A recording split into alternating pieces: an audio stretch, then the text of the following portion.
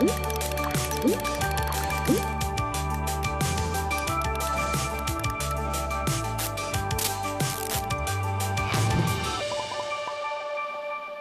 Klaudia Szóstek, witam Państwa. Zapraszam na dzisiejszą prognozę pogody. Dzisiaj temperatury wyniosą od minus 4 stopni w Olsztynie i w Białymstoku, w centrum od minus 2 do minus 3 stopni.